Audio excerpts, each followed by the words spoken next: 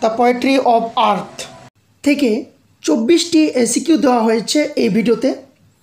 এবছরের জন্য এই প্রশ্নগুলি ভীষণ গুরুত্বপূর্ণ। এই চব্বিশটি এসিকিউ পড়লেই কমন পেয়ে যাবে। এর বাইরে তোমাদেরকে আর পড়তে হবে না। প্রত্যেকটি কবিতা থেকে একটি করে এসিকিউ থাকে।